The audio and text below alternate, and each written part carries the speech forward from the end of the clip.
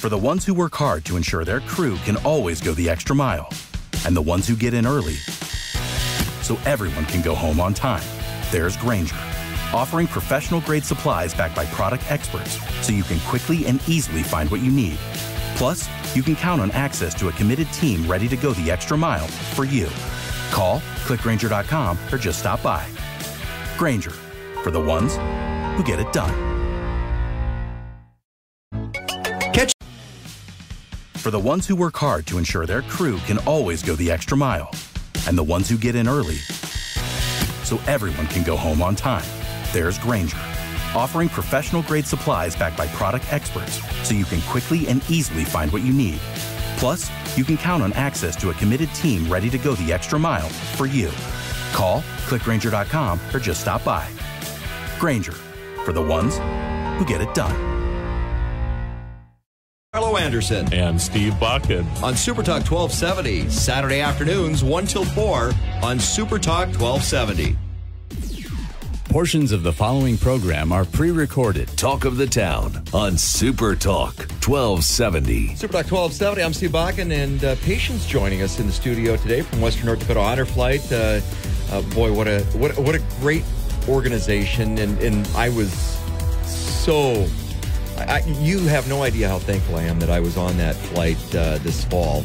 Um, amazing experience, amazing experience, and, and I've been to most of the uh, most of the monuments in Washington D.C. Patience, but going with the veterans. It, it, it puts it in an entirely new light. So thanks for coming in today because you guys have some great events coming up as well. We do. Thank you so much. Yeah, I, that experience of, uh, you know, I'd been to all the monuments before, but going with the Western North Dakota Honor Flight and the veterans is it's its own experience. You can't It even explain it. It's just it's humbling is the only way I can Yeah. describe it, but it puts it in an entirely different perspective. Yeah, experiencing it with the people who those memorials were built for. Right. And went through the experience that know the story behind those memorials and and getting to talk to those veterans too uh, and go, okay, what I mean, you sit there and, and, and just hug a guy for 10 minutes who, who's breaking down because all of his buddies, he lost them all or, Yeah. you know, it's just humbling, just absolutely just humbling. walking that journey with them and even just being an observer rather than a participant is its own experience and i i just can't say enough for western north dakota honor flight and like for me as a veteran experiencing that with older veterans you know from world war ii and korea and vietnam is um, an experience you cannot explain until you've had it you know, my trip because I was supposed to go in the spring, and then I got pushed back to the fall because my father-in-law, Right. um, Wendy's dad, was going on that, and he was a veteran. He went with his buddy, so I had another little layer on top of that as well. But Right. at, on that flight, I ran into so many people from the Bismarck Mandan area that I knew, and I didn't know their story. And, Right. and then you get talking to them because they open up a little bit on the Yeah, honor they- flight they don't share that story no, otherwise They don't. And I have all those good relationships I had are on a different level now because the people that I went on that trip with that opened up a little bit about their story. Yeah. It's just, I, again, just an incredibly humbling experience. And anything we can do to help get those veterans connected to the honor flight and Right. to the monuments and it's To just the experience. It's, a healing process. It, It just absolutely truly is. Um, so, give us a little backstory on, on Western North Honor Flight before we get into some of the events, because you got Operation Christmas coming up, and I want to talk about that because the deadline's coming up on uh, December twelfth. Uh, little backstory for the Western North Dakota Honor Flight. So, the Western North Dakota Honor Flight is one of several hundred hubs to the Honor Flight Network. Honor Flight Network was created several years ago um, by veterans, um, seeing a need to bring our World War II, Korea, and Vietnam era veterans to to see the memorials that were built in their honor. And it it started with you know bringing one veteran, then bringing two veterans, and then these hubs. Um, popping up all over the United States. And Because we started off with uh, North Dakota Honor Flight over in the eastern part of the Right. state, and the demand was there. We have so many veterans, and in North Dakota, we're so blessed to have such a connection to service with the military here in North Dakota, and, and the Guard, and and everybody continues that service through the Guard or the reserves, and and there was a need. Western North Dakota had a need, and uh, Western North Dakota Honor Flight grew into that. It did grow. It did grow into that, and and you pointed it out perfectly. You know, having these veterans travel to Fargo uh, from Western North Dakota, that became a challenge, and so the Western North Dakota Honor Flight grew out of that, and um, we serve um, from Jamestown West and Jamestown North to Canada and Jamestown South to the South Dakota border, and um, getting those veterans connected to the honor flight is is a goal. Um, and it's pretty easy to do. You connect through our website. Um, you can connect through our Facebook page, and right on our website is the the application form. Um, if you aren't comfortable filling that out yourself, uh, get with a buddy, get with a friend, get with a, a grandchild, get with you know someone who may be more comfortable doing that, and they can walk you through that process. It's really simple. Um, and we kind of have a, a motto. It's a first to apply, first to fly. Now there are some caveats to that, but you know, get your application in, be, become part of this. It, it's a life changing experience. I've talked to a lot of veterans that are like, I, "Do I qualify for this?" I'm like, "No, you do." And, Yeah, that's- and get that's on the a- list. I mean, that that's it's part of the messaging that no, you served, you're entitled to this. Right. Please fill out the paperwork and get a, on the list. That's a misconception that you have to have served in the country of Vietnam or that you had to have served in Korea or have served in World War II. And that's not how it works. It- we refer to it as World War II era, Korean War era, Era. Vietnam era. And, and, you know, a, a lot of people, particularly guardsmen, National Guardsmen, um, will say, well, I didn't, I, you know, I, I didn't really serve. Yes, you did you served. Yeah. you served. Apply. It's, you know, you you served your country. Well, I, I talked to one veteran that didn't think they were eligible because they were stationed in Germany during Vietnam. I'm like, No. no, you're you're part of the support. You served, Right. Yeah. Yep, you served in those years or that era and you are eligible. And yeah, it's it's it's an experience like no other and really get those applications in. That's what we need. We need we need to continue to grow this program And what's the website? uh, westernndhf.org. Pretty simple. Pretty simple. and it's a simple form. And if you have any problems with it, somebody will help you fill out the form. Absolutely. And and you know, you can get a paper form and fill it out and mail it into us. We'll take it that way. Um, our phone number is right on the website. Uh, you can give us a call. We can walk you through the application.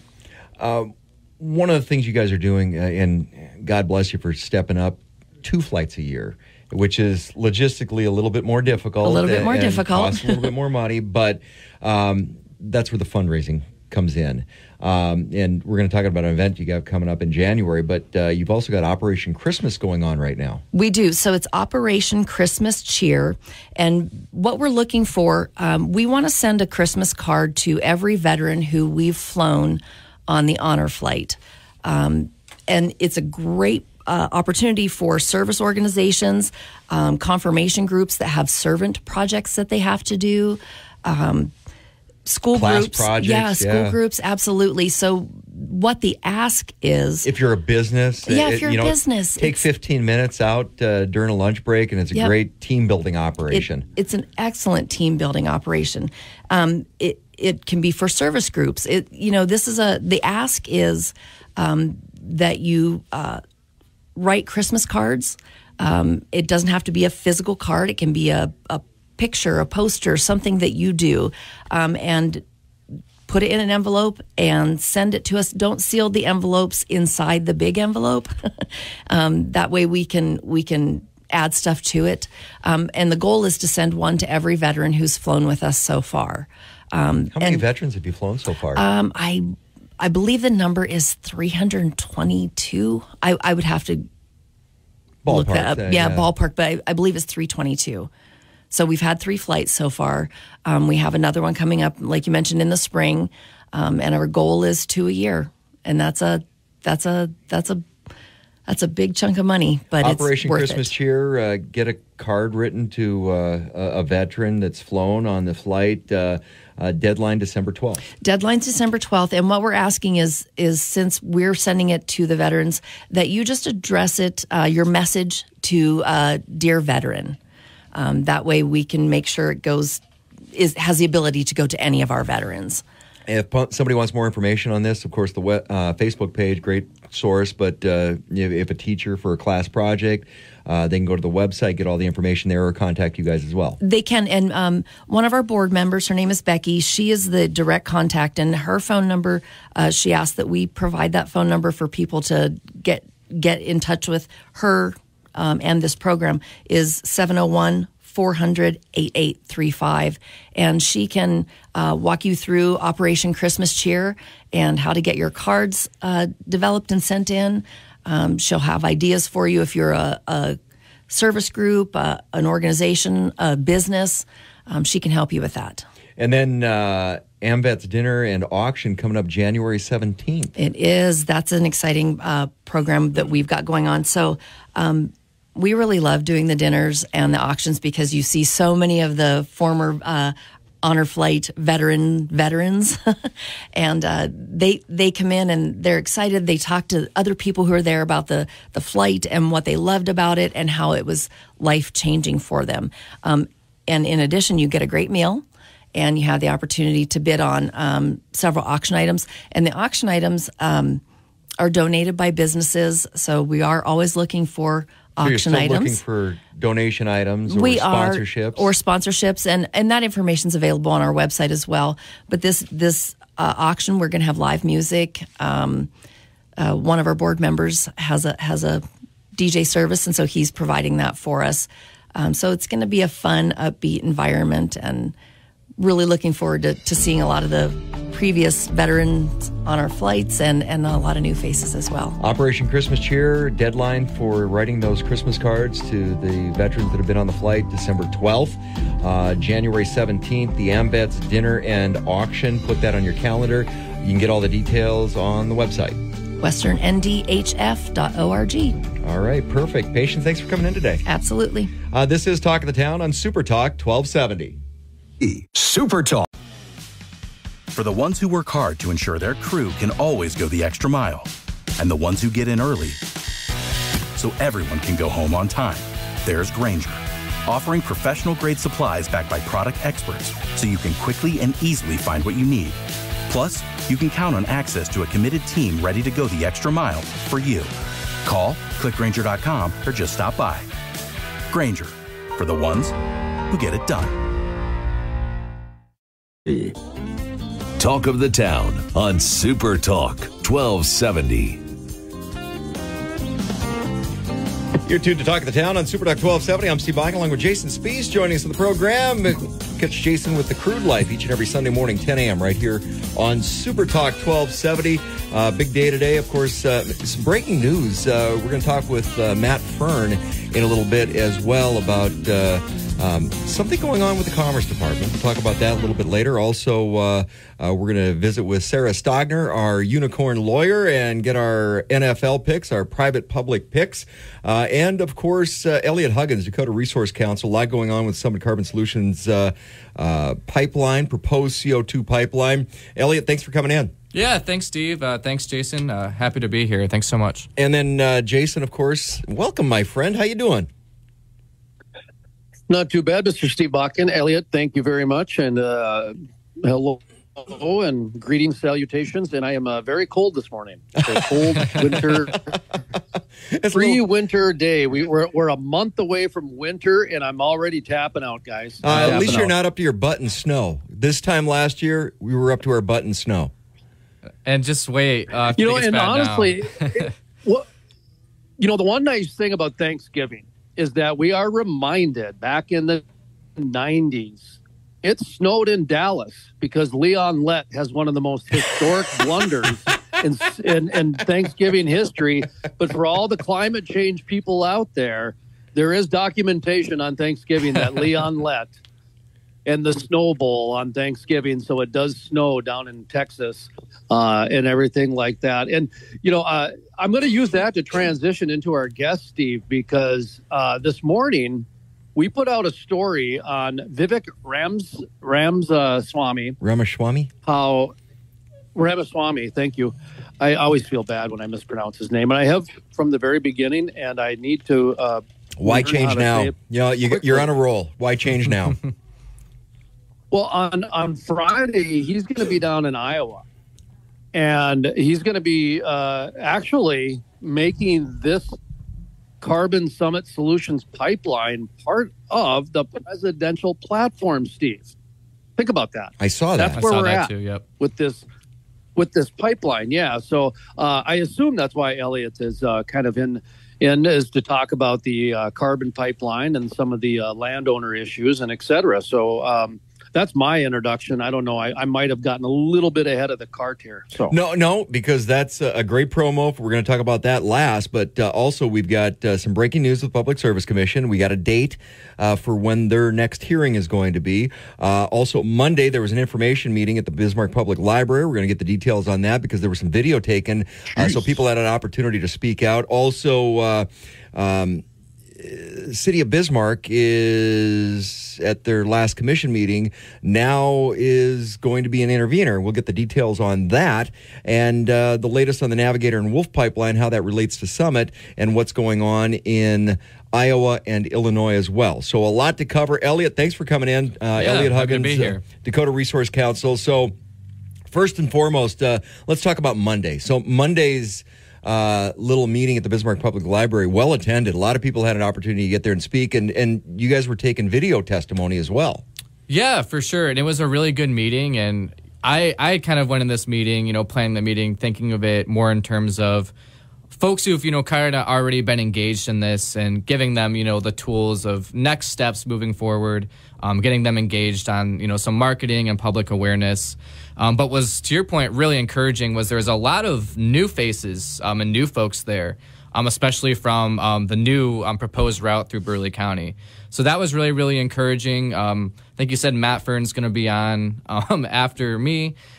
He had a great team over there taking video testimonials of landowners, concerned citizens that will be rolling out here, hopefully in the next couple weeks. And to get some more awareness on the issues. So, yeah, really good meeting, really, really productive. Um, happy to always have new people um, in the fight, and yeah, it'll it'll be really good to see that content we get out in the next couple weeks. You know, one of the things with uh, getting that message out a little bit more, because it, it- for some reason, I don't understand why, but um, either mainstream media or it's just been kind of slow getting the word out of what's going on in people's backyards through Burleigh and Emmons County was on board at first. And, um, but now with that proposed change of the pipeline, it, it's almost like you have to get that message out again because you know people don't know what they don't know and, and they may not know that it's going in their backyard now Right. instead of somebody else's Yeah, absolutely. And prior to this meeting, there were some pretty local meetings I know in uh, Glenview Township, um, Cromwell Township. Um, the the board of supervisors actually in Glenview Township remarked, "This is the most people we've ever had a uh, board of supervisors meeting uh, ever." So that's really really encouraging. Um, and I definitely don't think from all the conversations I've had, um, all these meetings with people, that people who are just finding out about this um, with the new route, you know, a little further north of Bismarck, uh, they're not they're not too happy about this either. And I don't I don't think getting easements signed up there and getting those local government units is going to be a slam dunk whatsoever. Now, Elliot, I'm not quite 50 years old, but you know, I'm in my late 40s, and so I'm you liar ancient. You're like You're twice, older my, than that. twice my age. no, I'm honestly, I'm, I'm 48, and um, I might be 49. I just had a birthday. I can't, I don't even 74. What are you in born. dog Do the math. I was told there be. I was told there was no math on Wednesdays. Okay, so um, you know, I, I'm kind of when it comes to government services, I'm finding out I'm a little bit old school or outdated because what if there's a problem with public conversation to me that's a little bit bizarre because there's a lot of money being invested into marketing and public relations and social media to alert the public about these issues so when when i hear that you know it's people are just finding out now. Where's the state been on this? Because my understanding is you guys were hired because landowners were not getting a government service from the state. Is that am I following this correctly here as far as the way government services are supposed to work and where we're kind of seeing a little bit of disconnect and how you guys got involved in this? Sure. Like I guess I guess that my response to that would be is kind of to Steve's point. What I found is a lot of people think, you know, oh, it's not directly on my land, so you know, oh, it's not necessarily a concern for me. Um, but there are um, concerns, you know, the broader economic development for the future of the city. Um, there's a lot of safety concerns. Um, you know, things like that. Like if this gets approved in this location, might not be on your land today, but another pipeline, if you live close, easily they could seek an easement for your land. So um, obviously the landowners and people directly impacted are at the core of this, um, you know, campaign and fight. Um, but also, it's also just really important to make people um, aware and um, know about the you know concerns of this, even if their land's not directly in the route. Um, and yeah, with the government, oh yeah, and we had you know eight eight uh, property rights bills um, at the last legislature um, session, uh, broadly supported by you know a lot of landowner groups, um, groups like ours working with you know folks, um, family farms, things like that. But uh, unfortunately, um, the lobbyists, it was really sad, and um, Governor Burgum's administration's kind of all in on this project. So we're up against a lot of big money, um, and it, that didn't pan out how we wanted, and um, that aspect's been frustrating. But the grassroots, um, everyday people on this, I, I think, are pretty united that um, there's a lot of concerns and issues with this project.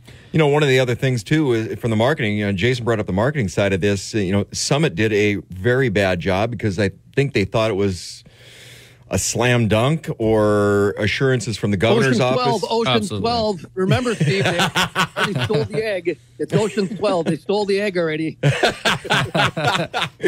but they didn't do a, a marketing. I mean, first thing you do is if you're going to do a project in North Dakota, especially eh, or anywhere, you get out in front of it, you get the marketing out there, you introduce people to the project, you sell them on the project.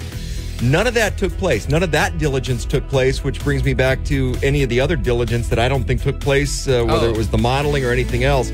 Uh, we're up against the break. We're talking with Elliot Huggins, uh, Dakota Resource Council, concerning Summit Carbon Solutions CO2 pipeline that has been proposed.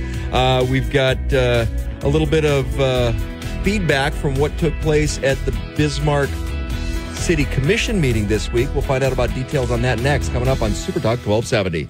Follow us on Without the ones like you, who work tirelessly to keep things running, everything would suddenly stop. Hospitals, factories, schools, and power plants, they all depend on you. No matter the weather, emergency, or time of day, you're the ones who get it done. At Grainger, we're here for you with professional grade industrial supplies. Count on real time product availability and fast delivery. Call clickgrainger.com or just stop by. Grainger for the ones who get it done. Us on Facebook. Super Talk 1270. Welcome back to Talk of the Town on Super Talk 1270. You're tuned to Talk of the Town on Super Talk 1270. I'm Steve Bach along with Jason Spiess from the Crude Life. You can catch Crude Life Sunday mornings 10 a.m. right here on Super Talk 1270. We're talking with Elliot Huggins, uh, Dakota Resource Council, concerning Summit Carbon Solutions proposed CO2 pipeline. And uh, kind of a big week. Uh, you had your event at the Bismarck Public Library on Monday night, Elliot, and then uh, this week the Bismarck City Commission uh, weighed in on their intervener status. Fill us in on that meeting. Yeah, for sure. So Bismarck, I think a couple weeks ago at the last meeting or something ar- around that time, voted to uh, officially file the petition with the Public Service Commission. And uh, a couple days ago or yesterday, Summit actually filed their legal response to that. Um, and they didn't um, object to the city uh, participating um, as an intervener um, as long as it was focused on the issues um, outlined in the petition. So those three things are what the city is going to be permitted, uh, assuming this gets approved, is um, the Missouri River crossing, um, proximity of the pipeline to the um, city limits, and then also emergency response plans, um, emergency training. So, is there an opportunity for them to not be so amicable when it comes to the Public Service Commission? Right. And so The it is possible. Granted, it's limited to those three topics that I could potentially see there being um, some objections um, from Summit um, just during the upcoming proceedings with the questions. So that's something I think will be interesting to look out for. Um, they did object to the city um, first before we get to those hearings. Um, there's going to be a hearing on the 21st of December. Actually, just came out t- 10 minutes ago or so um, on the county ordinance um, issue. So the PSC is going to be deciding, you know, do we allow the Burleigh and Emmons County ordinances to stand? And then only after that decision's made will there be the actual hearings on the application. And Summit objected to Bismarck participating in that, um, arguing that you know Burleigh County and Emmons County already have counsel. Um, it'd be kind of overly burdensome. Um, and the city uh, thought, and the city's attorney thought, okay, you know that's actually pretty reasonable from Summit. Um, we won't participate in that hearing. So that's kind of what they decided um, the other day, and that's kind of where things stand with that. I may have a question of naivete. Sure, yeah, it's a little complicated. When I when, when when I hear the city of Bismarck wants to become an intervener, is that uh, kind of what does that mean? If I'm a citizen of Bismarck, mm-hmm. and are they are, are they picking a side here? Are they looking out for my best interest? What does that mean as a citizen of Bismarck? Yeah, and folks, if they want to read the actual petition and exactly what the city is asking for and arguing, essentially, um, you can go on the Public Service Commission website and read word for word. Uh, basically, the position the city takes is we're not um, supporting the application, uh, we're not necessarily opposing the application, but we want to make sure we have a seat at the table to answer questions, pot- potentially call witnesses, cross examine Summit's witnesses, um, and just make sure the city's uh, interests are protected on those on those three issues. Okay. Um, and so it's a pretty big deal they my, intervened. It's it's a pretty big deal and pretty significant in my opinion. Yeah, and you mentioned that Summit didn't seem like they were too happy with it or made a comment something along those lines. And that kind of answered my question, but I still wanted to kind of flesh it out a little bit because there are some communities on the east side of the state, like Enderlin and Oakes. I think Lisbon, which is Oakes. Um, there's some more on the central part of, of the state that have had pretty pretty public town meetings uh, against this uh, pipeline, and there was even a law that was passed I think kind of specifically questioning some of the ownership involved with this uh, pipeline. So, talk to me about what some of the other communities around the state are asking from and for, I guess, transparency and some other things. Yeah, so I guess like surrounding, you know, broader, let's just say the east side of the state kind of when this all started two years ago, uh, we had six counties pass resolutions opposing eminent domain. Um, and those six counties constitute uh, the vast, vast majority of the pipeline route. And so while that's you know not necessarily in the purview of the Public Service Commission, I do I do think it sends a strong message that the project isn't exactly um, popular um, in these other communities. Um, Richland County surrounding the transparency issue, Richland um, Burleigh and Emmons County um, actually requested, you know, an attorney general's investigation um, into the investors of Summit. Um, and that was unfortunately denied a couple weeks ago. Um, but again, people on the east side, Richland County, you know, worked hard, um, got petitions, attended meetings, and got their city, you know, or county board to do that over there. Uh, the other really interesting county on the east side to me is uh, Dickey County. been very, very, very active over there. Like you said, the Oakes area, Ellendale area. And they were also a county that passed the resolution. Um, Richland was too. Um, but over there, kind of twofold, uh, they wrote a very, very strong letter um, to the Public Service Commission um, outlining, you know, numerous uh, concerns, um, you know, asking for a transparent hearing, not a rush. Um, and that's on the PSC docket too, if anyone wants to check that out. What's really, really interesting though there is about a month or so ago, we had a, you know, public hearing on a county zoning ordinance there essentially equivalent to Emmons County. And what happened was the uh, Board of County Commissioners um, has been kind of really been dragging their feet on this for a while over there. And eventually at this at this meeting, um, they voted to pass the ordinance, but contingent on the state's attorney uh, signing off on it um, and sending it to the PSC.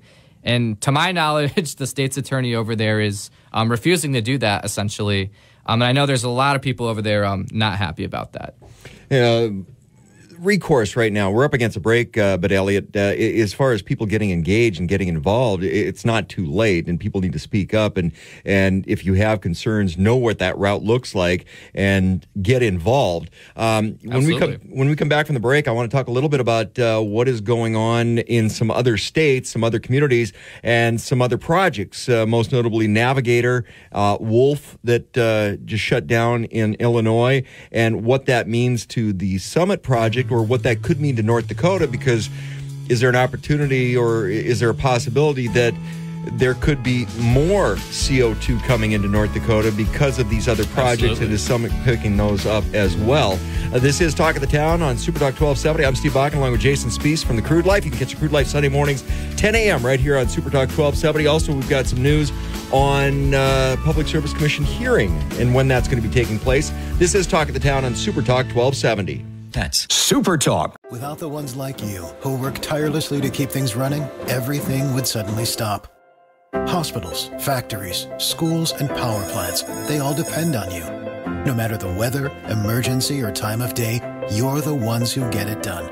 At Grainger, we're here for you with professional grade industrial supplies.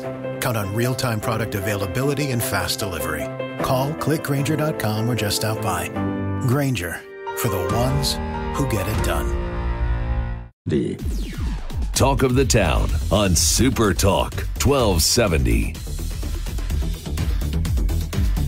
You're tuned to Talk of the Town on Super Talk 1270. I'm Steve Bakken along with Jason Spiess from the Crude Life. You can catch Crude Life Sunday mornings, 10 a.m. right here on Super Talk 1270. And we're talking with Eliot Huggins, the Dakota Resource Council. And uh, I want to get back to uh, what's taking place in some of the other states real quick. Uh, Summit, of course, uh, there's a possibility they could be picking up some other projects that have been shuttered. Um, most notably Navigator. Now we just heard that Wolf uh, their project in Illinois shuttered as well. So there's a distinct possibility Summit could be working on picking up some of these other contracts and bringing even more CO2 into North Dakota, which means the possibility of more than one pipeline, larger pipelines, higher pressure, more potential danger. And, and we haven't even worked through what's going on right now. Right. And, and I told Lori Hintz earlier this week, you know, maybe it's time to just stop for a minute and wait for PHMSA. Uh, because that would solve a lot of issues and a lot of questions and concerns by a lot of people. Oh, ab- absolutely. And, you know, there's so many things I think with this entire process that could be done differently that would um, assuage or at least um, make a lot of these concerns not as strong as they are. But unfortunately, um, the company's taken a pretty um, strong approach of kind of our way or the highway, and that's where we find ourselves. But yeah, so uh, the Navigator, you know, CO2 pipeline project that was canceled a couple weeks ago, a month or so ago. Um, and Summit, you know, immediately uh, issued a statement saying they welcome um, picking up those ethanol plants um, and adding essentially, yeah, CO2 pipelines to their network. And so I think it's around the number always fluctuates about 34 ethanol plants right now and I want to say there was 20 something on that pipeline.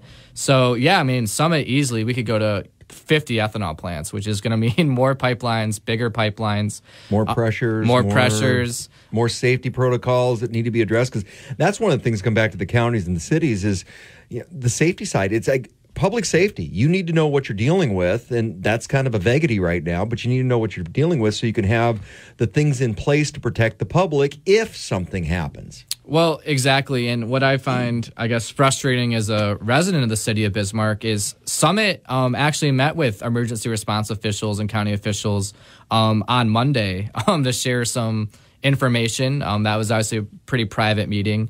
And what, what strikes me is, you know, this is months after the permit's been denied, years after the project's been announced, and this meeting is is just now taking place. So that that I guess rubs me the wrong way a little bit. And there's a lot of questions and a lot of un and there there have been unanswered to date, and that's why I think you know people remain concerned about this.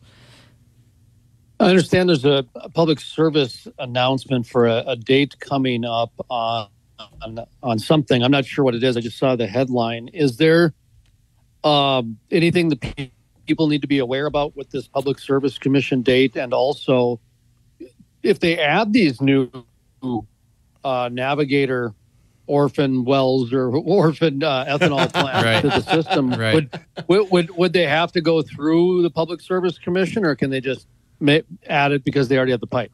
Well, they would they would obviously have to go through whatever state processes, you know, they're the equivalent of the Public Service Commission. But again, like the whole point of this project in theory is to benefit the ethanol industry. And okay, let's let's just take that at face value. Again, we only have one of the 34 plants in North Dakota benefiting. One of 34. And then we want to make that one of 50 and you know we are taking the risk. Um, Bismarck, Burleigh, Emmons County with the 24 inch pipeline, we're taking the risk with the sequestration and the purported benefits of the project, which is again you know these ethanol low carbon markets. Uh, North Dakota, the state of North Dakota, isn't the ones benefiting from that. So I mean, to me, I, they want this to be a public service commission, in, you know, proceeding because those ethanol plants aren't located here. Um, but it would just be yeah more risk um, for even arguably less reward. We're talking with Eliot Huggins, uh, Dakota Resource Council. Eliot, uh, I know you guys are following this closely. Uh, we talk with uh, uh, Lori Hintz over at BEK News. You can go to bek.news. For more information, where do people reach out? Uh, how do they get a hold of Dakota Resource Council? Um, because, like we said, um, the new routing, a lot of people may not know about that yet. So, how do people get more information? Yeah, um, folks are welcome to um, send me an email anytime. Um, Eliot, E L I O T, at drcinfo.com.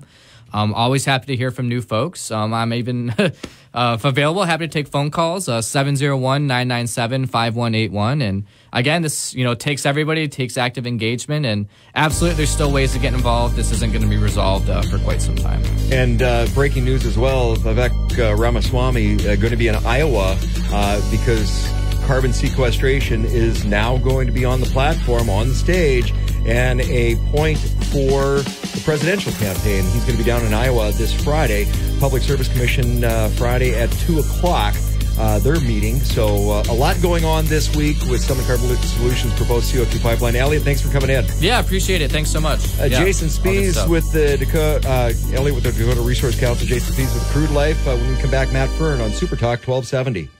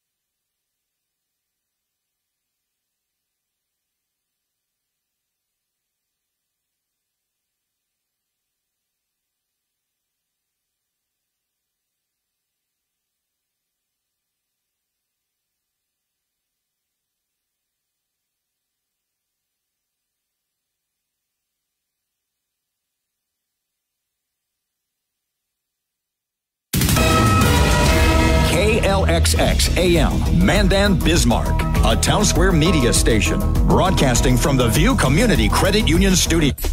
Conservative talk without apology. The Regular Joe Show with Joe Gigante. Weekday evenings at 9 on Super Talk 1270 and the free Super Talk 1270 mobile app.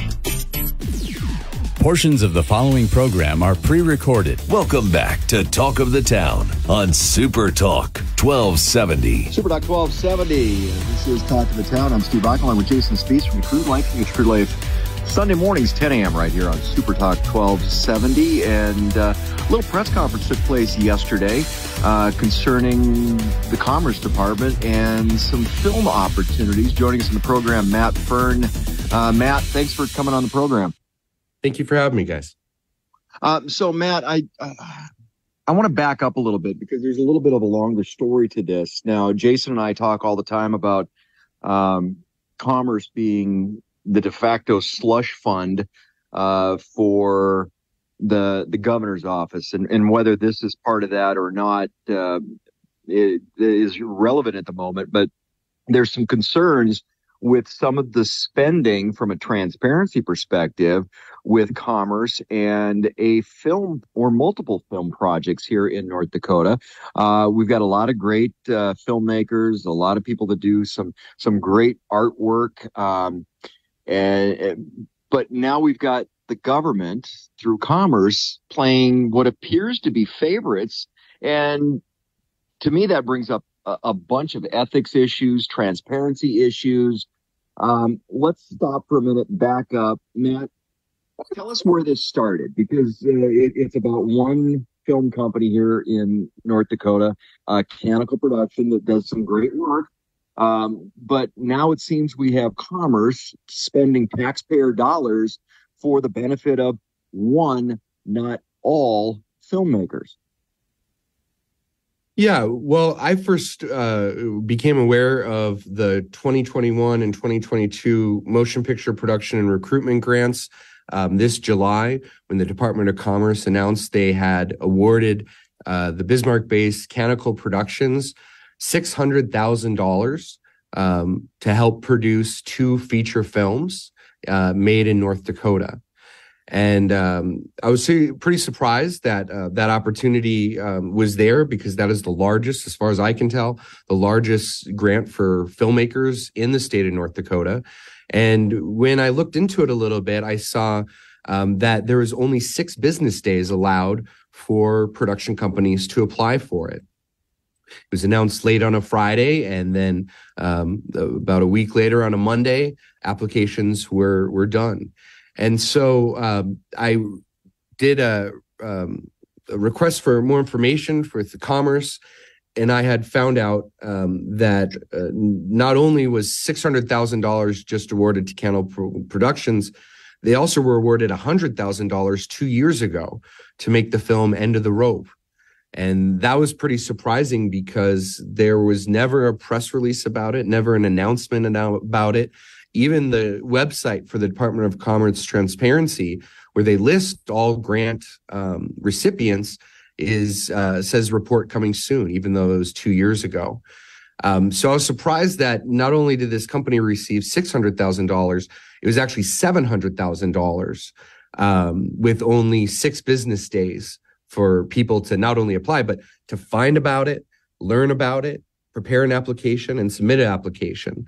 Were six business days, and um, also with that open records request, um, we were given um, what Canonical Productions submitted as an application for that $600,000 this year. And it is shocking. It is a page and a half um, of, of no script, no budget, uh, no cast, no release strategy, all the stuff that is very fundamental and basic for video grants um, was absent. It basically was I want to make uh, two feature films in North Dakota. It's going to be six hundred thousand dollars, and um, I mean, surprisingly, there is a big section in there where Canonical requests payment through their nonprofit company, um, which is a totally different. Oh, let's pause there now. Uh, this is a nonprofit as, as well, Canonical. I, I don't know how Canacol works. I'm just referencing uh, their application. They did reference if they were given the grant money, which they were given, um, that payment be made. I will quote their their own application here. If awarded the grant, we would request that payment be made to Canacol Productions through our nonprofit arm, Grain of Wheat Productions. And when I searched Grain of Wheat Production with the North Dakota Secretary of State website, um, it shares the same residential address as Canacol Productions, and it also wasn't even registered with the state as a nonprofit um, until after this So application. th- that's what's interesting to me about this is that um, I'm I'm a little bit familiar with Canonical because of the the end of the rope, the the the um, the lynching movie, the last lynching in North Dakota. Which received hundred thousand dollars without any. So that's what's interesting about it. This is okay. So this is what's interesting to me about it is that I have been trying to educate Senator Cramer, specifically Senator Kevin Cramer, Senator John Hoeven, and Governor Doug Burgum publicly at press conferences about the thought worker and how that is an emerging issue in the United States because 80% of thought workers now consist of the marketplace. This is a thought worker type of a deal here. This is where they, they literally can pick winners and losers and not have to worry about who built a better mousetrap because they can just it's subjective when you're talking about thought workers okay so that that filming was going on while i was doing some stuff out in the bakken so what happens when you're a thought worker your money goes to salaries it goes to staying in hotels and that's where i met them is that they were staying in the little missouri river inn out there which is a very nice hotel and so that's interesting because to me, it would seem that that $100,000 was just redirected to the hospitality industry in Watford City.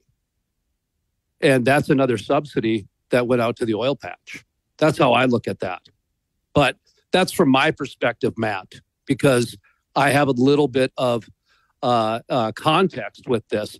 Where the $600,000 is going, I have absolutely no idea, but I'd like to know what these what they're paying themselves in salaries because when you're talking about a company that doesn't manufacture something that you don't have to buy raw materials, that makes this money extremely valuable, extremely valuable. So talk to me a little bit about how this upsets the marketplace. How is is this something that, you know, m- makes you react as an individual. I mean, you had a press conference, so it must impact your business. Yeah, I think this is an incredible opportunity. I think these grants are coming from a great place. Um, I think North Dakota does need more exposure nationally. I think um, North Dakota should be more competitive in motion picture production. Just last week, Fargo premiered season five. That's a nationally, you know, globally recognized show, has a bunch of awards, and it's shot up in Canada because there's no infrastructure in North Dakota and there's no um, production incentives, tax incentives. Now, traditionally, up in Canada or most tax incentives, it's a dollar in, dollar out. You give money to the state, the state will reimburse you. That way, it kind of expands budgets. So that's the reason why Fargo is filming up there and other productions. And I believe that was the intent of these grants to make North Dakota more competitive um, and to try to get more exposure. Do you know Nate, Anderson from Minot, Matt?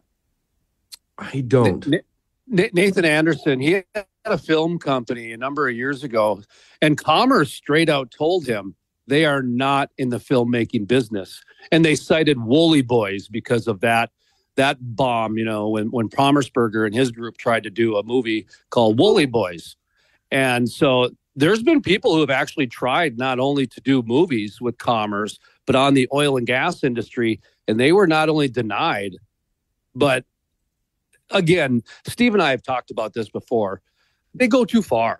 They go too far. They say things that are just borderline discriminatory and it just it, it really leaves a sour taste in your mouth. At least that's my experience dealing with it and other people's experience. Um, what is your experience on that. Steve, I'm sorry about that. I didn't mean to usurp your deal there. I just remembered uh, Nate Anderson. I know we have to hit a break. So, Steve, sorry. Tell you what, uh, why don't we take the break? We'll come back and we'll visit with Matt about that after the break. Uh, this is Talk of the Town. I'm Steve Bach along with Jason Spiess from the Crude Life. You can catch Crude Life Sunday mornings 10 a.m. right here on Super Talk 1270. We're talking to Matt Fern, uh, North Dakota filmmaker. Uh, does a lot of great work around uh, the Bismarck Mandan community. A lot of great work across the state, regionally and nationally as well. And uh, we're talking about commerce and basically government with your tax dollars picking winners and losers. Uh, this is Talk of the Town on Super Talk 1270. Com. Super Talk. Without the ones like you, who work tirelessly to keep things running, everything would suddenly stop. Hospitals, factories, schools, and power plants, they all depend on you. No matter the weather, emergency, or time of day, you're the ones who get it done. At Grainger, we're here for you with professional grade industrial supplies. Count on real time product availability and fast delivery. Call clickgrainger.com or just stop by. Grainger for the ones who get it done. Talk of the Town on Super Talk 1270. Super Talk 1270. I'm Steve Michael along with Jason Spiess from Food Life. We're talking to Matt Fern, uh, North Dakota filmmaker, and uh, we're talking about uh, commerce and the state picking winners and losers when it comes to the filmmaking industry here in North Dakota. Um, basically, writing up an RFP, it appears, that uh, was designed around one filmmaking company here in North Dakota, one that was local, and uh, not having an RFP that was out for all filmmakers in North Dakota, uh, but uh, already had picked where that money was going by uh, the looks of the RFP, um, page page and a half uh, of requirements uh, and specifically detailed to what that company wanted to do with the money. Uh, we're talking with Matt Fern. Uh, Jason, uh, you had a question going into the break. I'll ask you to rephrase that for Matt.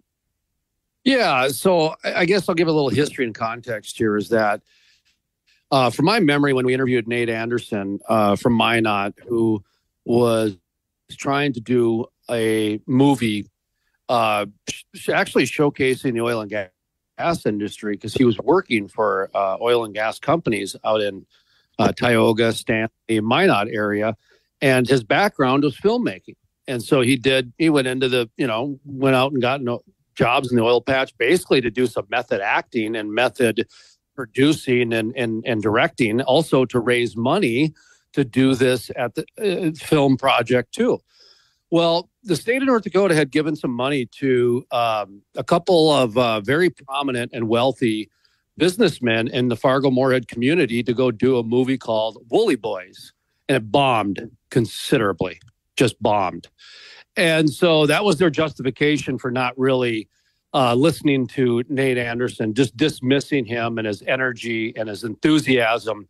And, you know, he was, he moved back here from he left he left North Dakota and moved back to try to find opportunity and found none.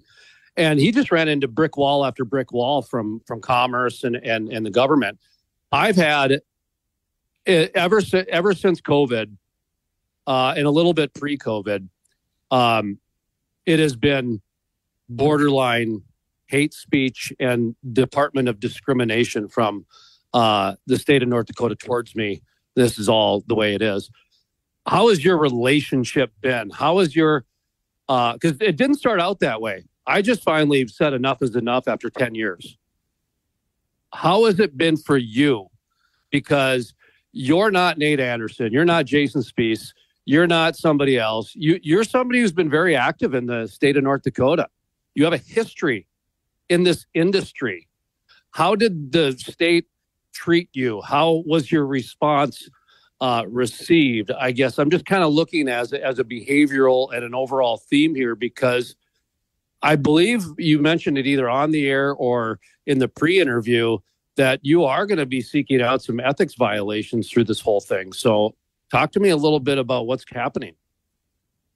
Yeah, um, in terms of my relationship uh, or my interaction with the Department of Commerce, it has always been positive. Um, throughout the years, um, I've reached out with them uh, with questions about film industry. Um, they also, I also worked with them to create a website for um, tourism's website um, to um, connect filmmakers. Making movies is really hard. And so I worked with them to create a database of all different companies, actors, resources, locations. I wrote together some articles about drone laws and everything just as a resource. Um, and Commerce has been really great to work with on that. They were um, happy to connect and build the film industry here. Um, and so that's why I was so shocked when I saw that um, this $600,000 was awarded. And so um, I had a good relationship with them. I emailed them right away and uh, said, is this, is this real? Am I reading this right? You guys only gave six business days to give out $600,000 and didn't require really any vetting or um, any information um, to determine who got that. Um, and they said, I mean, pretty much, yeah, that's, that's, that's how it worked. Um, so I do appreciate that they have been responsive to all of my questions. I've had a good relationship with them. Um, so I have I have no animosity towards them, but um, I just would like someone to give me some answers of who thought this was a good idea, who thought this was the best use of North Dakota taxpayer money um, to give seven hundred thousand dollars to one company to make these films. Um, and I know this six hundred thousand dollars, it's not going to end well because they already had a chance two years ago. They're given a hundred thousand dollars and they didn't say anything. Um, so I'm not very confident that they're going to turn it around this time. Making a movie's hard, let alone making two movies. Um, and they have to spend this fund. They have to spend this within, I believe it's about a year and a half left within the biennium. The funds have to be spent. Um, so uh, nothing against commerce, but I need some answers here. And and it's not just me, it's myself and 26 other film producers from across the state representing 17 different companies. None of us have gotten answers. None of us had a chance um, to even know about this. Why don't we take the break? We'll come back and we'll visit with Matt about that after the break. Uh, this is Talk of the Town. I'm Steve Bach along with Jason Spiess from the Crude Life. You can catch Crude Life Sunday mornings 10 a.m. right here on Super Talk 1270. We're talking to Matt Fern, uh, North Dakota filmmaker. Uh, does a lot of great work around uh, the Bismarck Mandan community. A lot of great work across the state, regionally and nationally as well. And uh, we're talking about commerce and uh, basically government with your tax dollars picking winners and losers. Uh, this is Talk of the Town on Super Talk 1270. For the ones who work hard to ensure their crew can always go the extra mile, and the ones who get in early so everyone can go home on time, there's Grainger, offering professional grade supplies backed by product experts so you can quickly and easily find what you need. Plus, you can count on access to a committed team ready to go the extra mile for you. Call, clickgrainger.com, or just stop by. Grainger, for the ones who get it done. Back to Talk of the Town on Super Talk 1270. Super Talk 1270. I'm Steve Bach along with Jason Spiess from Crude Life. You can catch Crude Life Sunday mornings, 10 a.m. right here on Super Talk 1270. Uh, looking uh, forward to the week in review uh, coming up this Sunday. Always some entertaining uh, information concerning not only North Dakota and the Bakken and the oil patch, but uh, what's going on in some of the other shale plays as well, and how that national energy picture plays out uh, right here in North Dakota. we're talking with Matt Fern, local filmmaker here in the Bismarck Mandan area. Oh, uh, Matt, that that was my question. Uh, you know, in your conversations, and of course, the press conference yesterday, uh, um, kind of reiterated some of this. Um, you know, what's the, the the taste in the mouth of filmmakers? We, I mean, very quietly, and I think too quietly, we've got a a pretty good video business here in North Dakota. Uh, a lot of really good filmmakers do great work. Um, in your conversations, uh, reiterate a little bit of, of I don't know, is a sense of disbelief about uh, how commerce had, had, doled out this money. And, and then I want to ask you about the process leading up to this because it, through the legislature, there's got to be a, a committee that this goes through for projects like this. So walk us through both of those.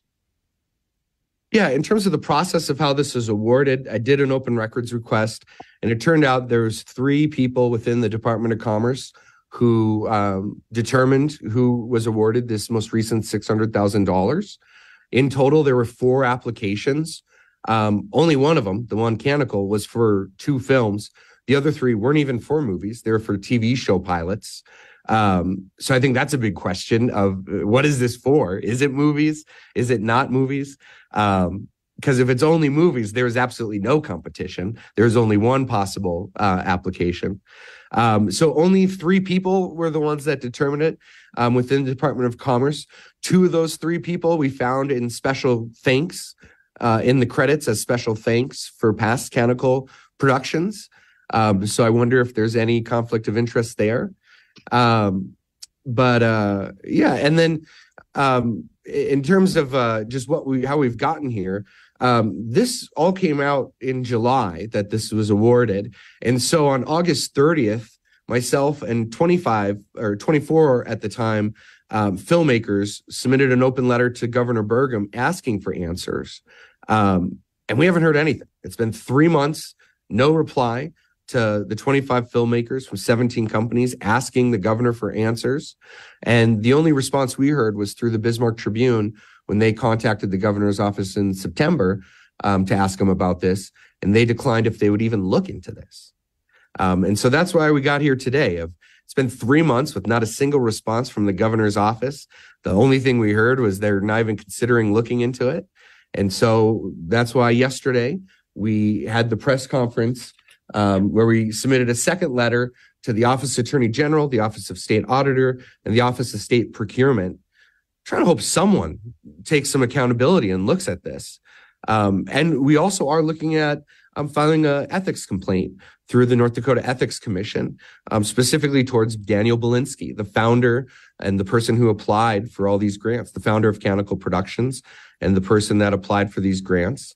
Um, uh, and our complaint against him is that he was hosting screenings um, with certain members of the legislature.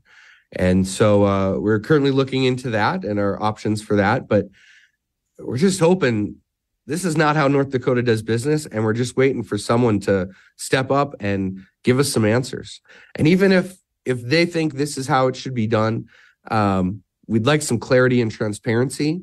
So if for some way we we filmmakers have another opportunity when when funding comes up here um, in a year and a half um, that more than just one one person who doesn't even run the company full time he's a he's a teacher at a university in Bismarck um, hopefully more than just one person has an opportunity.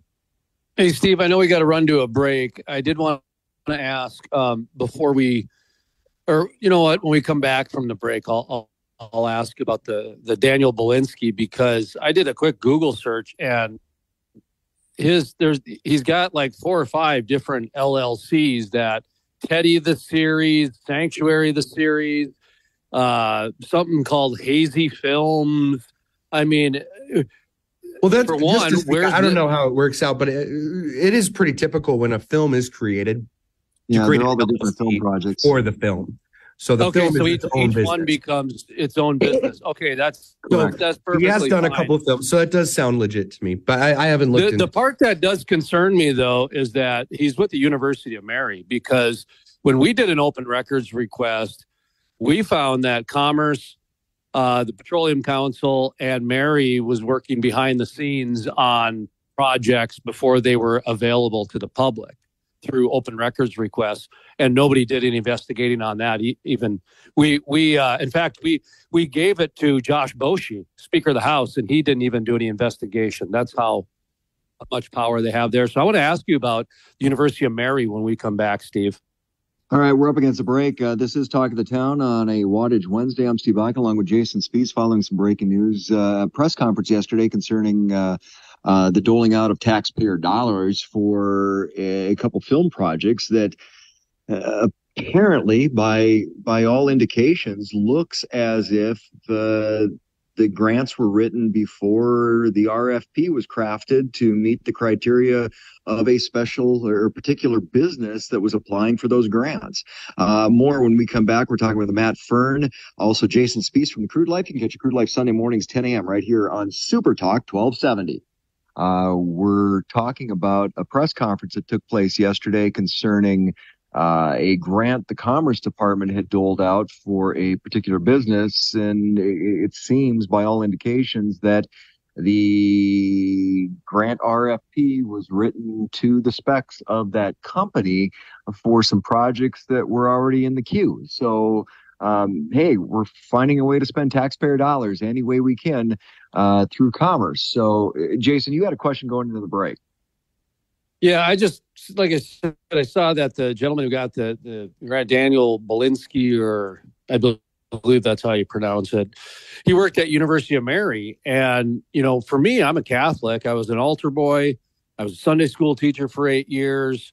I went to a Catholic school, so I do pay attention to a little bit of the Catholic school uh, diocese, et cetera. So we did an open records request. Like I said, there was it was clear that the Petroleum Council the University of Mary and Commerce had worked a deal out before anything went public. And so I was very disappointed to see Mary's involvement in this. And I know it's a hot topic because they have a lot of money invested in the community in a lot of different areas. So people are very afraid to speak out against it. But, you know, I mean, ethics are ethics, values are values. And if I could just um, talk in, to me about about this, Matt, a little bit. Well, regarding University of Mary, full disclosure, yeah. uh, they are a client of mine, but I have not seen any evidence that they are um, involved in these in Canonical productions in any way or in the, these film grants in any way. Um, I have not seen any evidence of that at all. Um, it seems very separate um, from his work at at that university. These film grants. Um, so yeah, just to clarify here, I am yeah. in no way saying University of Mary is involved in either of the distribution of the motion picture production recruitment grants through the Department of Commerce.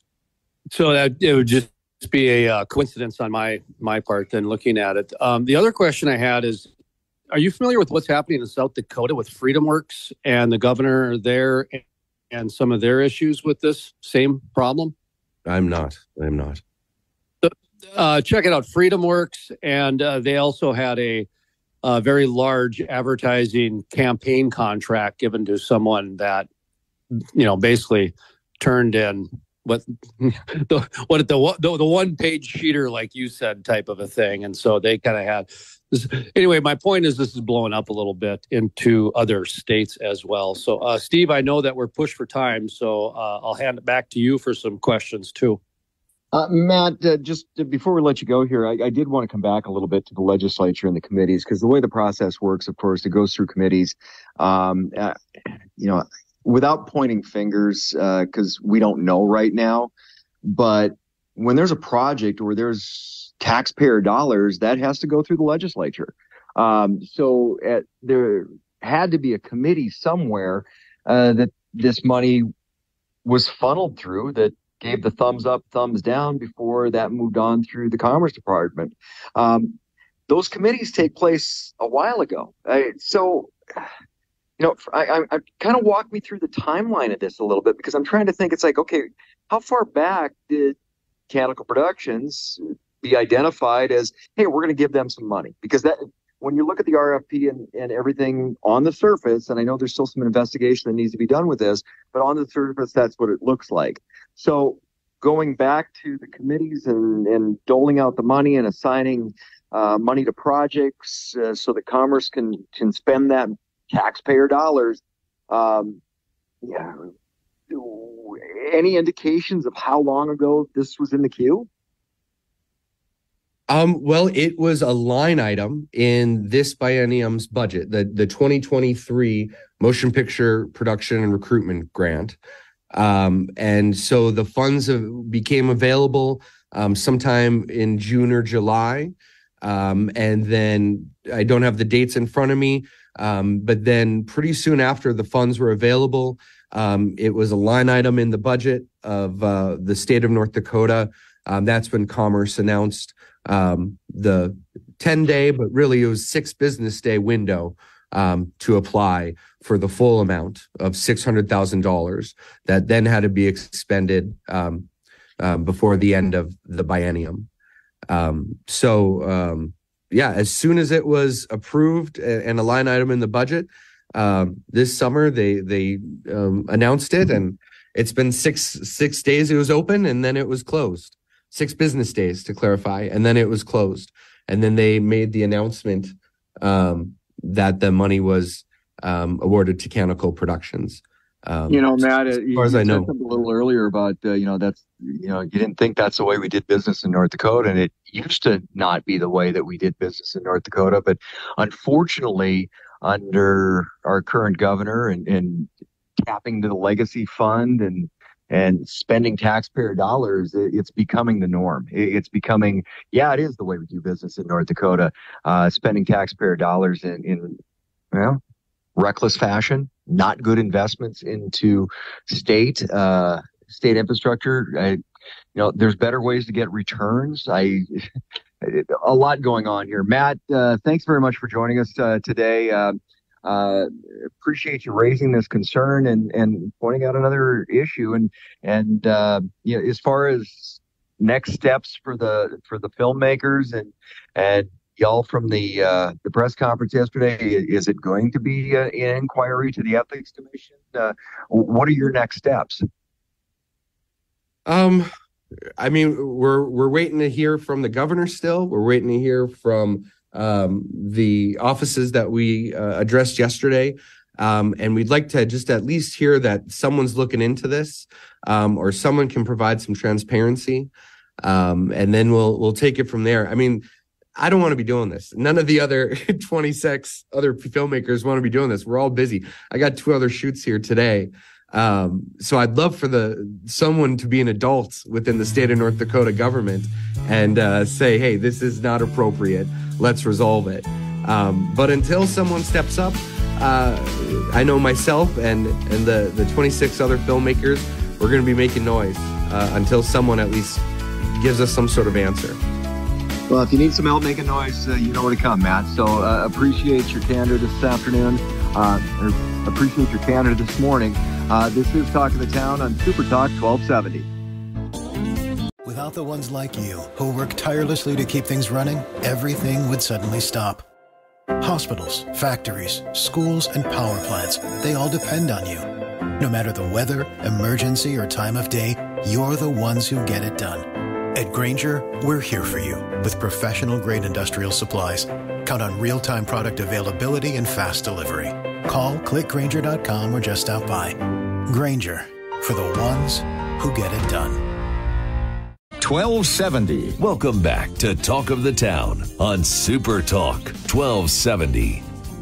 You're tuned to Super Talk 1270. I'm Steve Bakken along with Joe Sheehan from Benchmark Mortgage, your mortgage planner. Give him a call at 701 400 3926. Also, Randy joining us. Uh, interesting in the home market uh, side of things. And, and you know what? If you have a plan, if you've got a mortgage plan in place, now's not a time to just start thinking about buying a house. It, it, it's not a bad time right now. Um, people get hung up on the interest rates. And uh, we've learned that there's so much more to just interest rates. Well, and, and so you know, we have a real simple message on this show. If you need a mortgage planner, call me. Um, but but Randy, but Randy's here today. and he's- 701 400 3926. Randy's a little more open minded than I am. Yeah. Uh, so Randy, Randy, why don't you tell people maybe uh, let's one of the things that you're really good at is like how do you how do you pick a, your mortgage planner? What are the advice you give to people on who you're looking for and how you know you're working with the right person? Well, first of all, thank you for having me on. It's, uh, I haven't been on the radio for a while, so it's nice to come and spend some time with you guys. Um, first thing that comes to my mind when it comes to picking a lender, there's so many different ones out there. Um, and I think it can be a little tricky to know who has what for experience. Um, but one thing that not a lot of people know is you can look up you can look up a lender's NMLS license online. There's a there's a site that you can look them up and you can see just Which stands just, for just National Mortgage License, Service. yeah, right? But that'll help you if you're if, if you're curious to just how many years or where somebody's career path has been at. You can you can you can find it easily online if if, if that's something. Well, and most people don't think about that side of the diligence. I mean, you have to have your due diligence right now, whether you're looking at a house, if you're working with a realtor, if you're looking for a lender, because most people will just, they'll ask the realtor, hey, who should I go with? Or mm-hmm. they'll go, hey, I bank at uh, X, Y, and Z. So that's where you go. And, and that's not always the best solution. It could be a solution, but it's not always the best solution. Well, like Randy's MLS history will show. If, Randy's uh, MLS history will show a 15 plus year career um, versus you know you go sign up on Rocket and look for the NMLS person you're talking to, and it's yesterday. Yeah. yeah, you might be surprised. And you might be surprised at, at what somebody has or doesn't have for experience. And um, there's a lot more to mortgages than just interest rates. And Well, experience matters, Yeah. and, and Joe and I talk all the time about uh, uh, the nuances with the North Dakota Housing Finance Agency and the different programs that are out there. Which it's important to know those right now. hmm Yeah, there can be a lot too putting a mortgage together correctly, and it, it comes with experience. You know, it, it does take time to. Well, knowing the options is what that experience gives you because a lot of people, oh, here, here's the cookie cutter mortgage plan. That uh, do you fit this box? Uh, no. Right. I, I, I might have something a little creative. There might be a better plan out there. What are the other options? That's experience. That- Right. you, you need that experience to go. Okay, there's a USDA. There's an FDA. There's there's different plans out there for different people in different scenarios. And one thing I would say, uh, back to what you were uh, referring to, as far as just uh, who you're choosing, and, and maybe you're getting direction to to go one with one particular lender, is I wouldn't make a decision too much in your mind without actually going and meeting with them. So even if somebody were to give you a name to start with, um, that that's great. That that's pointing you in a direction. But uh, sometimes I'll get people that will ask me uh, my opinion, and then one of the questions I'll ask them is, "Is have you sat down and met with them? Have you had a chance to to uh, to get some of these questions out there?" And and they'll say, "No, I haven't yet." And I'll say, "Well, do that first, because you're you're you're making a lot of uh, decisions that you're, you you might be making too early without meeting with them first. See, and this is this is why you know Randy's such a great member of the team. He's the gentler, kindler, kinder soul on the team. And he can't tell on radio, but he's said, better looking, too, so. yeah, ask you know, ask hey hey ask them like, are you going to ever meet them? You know, then you got me on the way. Hey, let me tell you the truth, folks. Most lenders don't attend your closing anymore. Like that's that's a great question, Randy, because what most people don't understand is that they're going to be given a pre-approval letter and then they're going to be abandoned on the side of the road. Mm-hmm. That's almost what's happening to almost every customer out there right now, and and that's the difference between you know benchmark people and, and other people. Well, and what happens a lot too is you, you okay, you'll show up, and then the title guy will be there, and or person, and then then that's it. Um, okay, wait a minute, uh, your realtor will be there, but um, how many times does somebody walk into? Oh, well, you got to come up with another three thousand dollars at closing or thirty five hundred dollars at closing because uh, the numbers. Well, okay, first of all, that's a bad position to put somebody in to when they're buying a house, and and then you could lose a deal over thirty five hundred dollars. Mm-hmm. It no surprises. Mm-hmm. And when the lender's there, you don't get the surprises. Mm-hmm. Yeah, and that you know that's a good question. You could come right out and ask up front uh, is to your lender is if they'll if if you if they'll give you the word that they'll be there at closing, and and that's that's a good question. That's a really good question to ask. Uh, I think a lot of a lot of times it's hard for a customer to to under to know when talking with somebody uh, if you know they sound like they're they're great and they might have a lot of information right up front. But to what degree will they be there for you in the last two weeks of the process? And really, that's when it's a lot of times. KLXX AM, Mandan, Bismarck, a town square media station, broadcasting from the Vue Community Credit Union Studio. For the ones who work hard to ensure their crew can always go the extra mile, and the ones who get in early so everyone can go home on time, there's Grainger, offering professional grade supplies backed by product experts so you can quickly and easily find what you need. Plus, you can count on access to a committed team ready to go the extra mile for you. Call, clickgrainger.com, or just stop by. Grainger, for the ones who get it done.